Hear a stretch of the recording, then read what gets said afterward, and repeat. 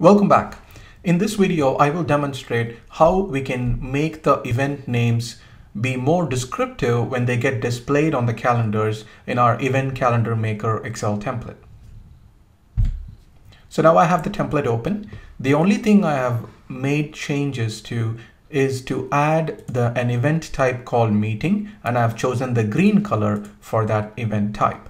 And now I'm going to go to the events sheet and we're going to enter the event and see how it gets displayed on the calendar. So I'm going to call this a team meeting and the event type, we have to choose one of the available event types.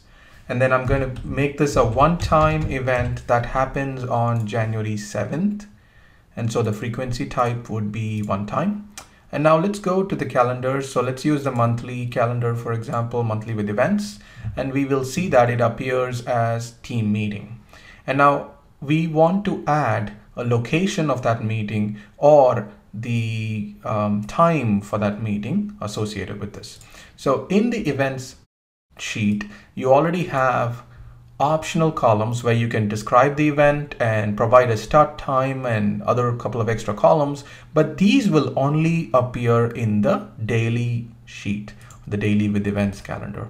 So if, for example, you want the location or the time, start time and end time to appear on the monthly with events, one trick you could do is to basically change the event name to be more descriptive. For example, here I can just type in 7 to 9 a.m. and building A. So if I change the event name, then if I go to the monthly with events, now I can see that the the event name is a lot more descriptive, which will give me the location and the time. So one thing to keep in mind is that if you have a long meeting name or the location, it might be tricky to squeeze that in in a decent font size when you print the monthly sheets.